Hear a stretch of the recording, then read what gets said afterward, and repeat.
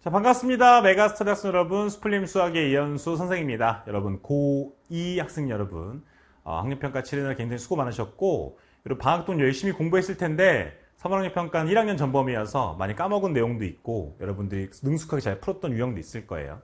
전체적으로 문제 1번부터 15번까지 짚어보도록 하겠습니다. 자, 첫 번째, 두 다항식을 간단히 더하세요라고 하는 문제는 여러분들이 일일이 항을 모두 비교하는 게 아니고, 적어도 시험에서만큼은 최고창 먼저 확인해서 EX제곱 찾아주시고 뭐 상수항이나 1차식 비교해서 확인해 봐도 어렵지 않게 답을 낼 수가 있어요. 그러니까 이런 건 절대 틀리면 안 되는 문제죠. 1번에 3번 확인하시고요. 그 다음 2번 가보겠습니다. 1 더하기 1-i분의 2, 1-i분의 2 요거는 허수니까 실수화 시키는 거죠. 1 플러스 i를 위아래 곱해보시면 얘는 2분의 2 플러스 2i 1 플러스 i입니다. 1을 더하시면 2 플러스 i니까 정답이 4번 만들어지겠지. 그죠? 4번 확인하시고요. 3번 가겠습니다. 3번은 말 그대로 이제 수식 기호인데 암산으로도 가능한 친구들이 있을 거고 순열 조합을 지금 적어도 한 6개월 동안 안 했다면 까먹었을 법한 문제이기도 해요. 우리가 NCE 라고 하는 건 여러분이 NP를 이펙토리얼로 중복이 되는 것만큼 나눈 그 조합이라는 식이었는데 사실 뭐 NP라고 하는 거는 순열이고 굳이 기호를 여러분들이 학습하지 않아도 n부터 두 개를 곱한 거다라고 하는 표현일 뿐이기 때문에 저기 4C이라는 것은 네 개 중에 두 개를 선택하는 거라서 정말로 까먹었으면 네 개 중에 두 개를 고르는 거 계산해도 돼. 1, 2, 3, 4, 5, 6, 그치? 어. 얘는 4 곱하기 3, 두 개를 곱한 다음에 2로 나누는 그런 식이었죠. 그래서 어, 이런 거는 만약에 틀렸으면 정말로 뭔가 수학을 등한시한 거죠. 이거는 틀면 안 되는 문제입니다. 4번 가겠습니다.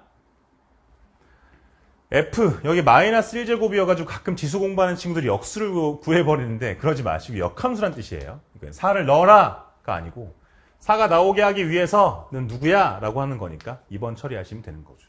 그래서 여러분이 앞장에서는 이렇게 훌랄라 이렇게 푸는 문제가 나 많이 나오는데 음, 좀 좌절해야 됩니다. 이건 틀리면 안 됩니다. 맞죠? 다음 5번 가겠습니다. x에 대한 다항식을 x-2로 나눈 나머지가 2a 8일 때 누구누구를 누구누구로 나눈 나머지에 대해서 특히나 여기 1차식인 경우에 다항식을 1차로 나눈 나머지를 우린 뭐라 그래요? 나머지 정리라고 해. 그래서 얘로 얘로 나누었으니까 이것이 0이 되는 값을 대입하기로 했었단 말이야.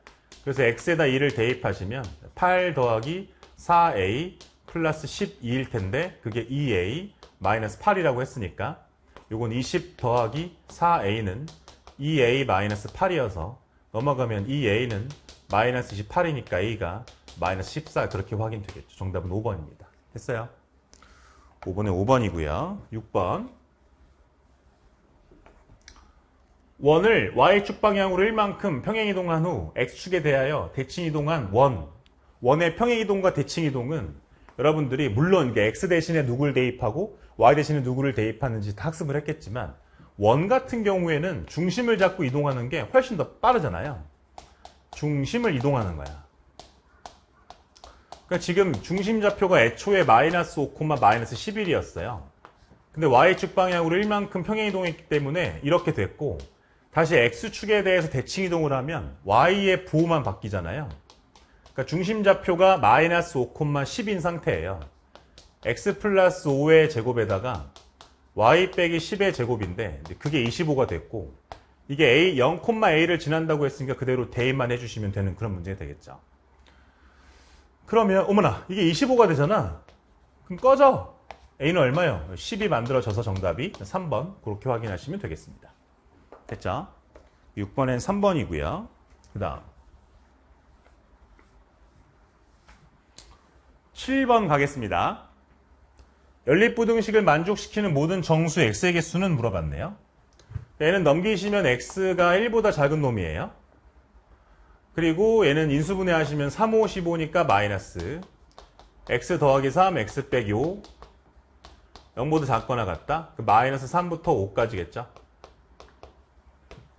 모든 정수, 그러니까 1보다 작으면서 마3부터 5 사이면은 마3, 마2, 마이너스 1, 0, 그 다음 1은 포함이 안 되니까 이렇게 네 가지라서 답이 1번 처리가 될 수 있겠지. 그죠? 7번에 1번 확인하시고요. 그 다음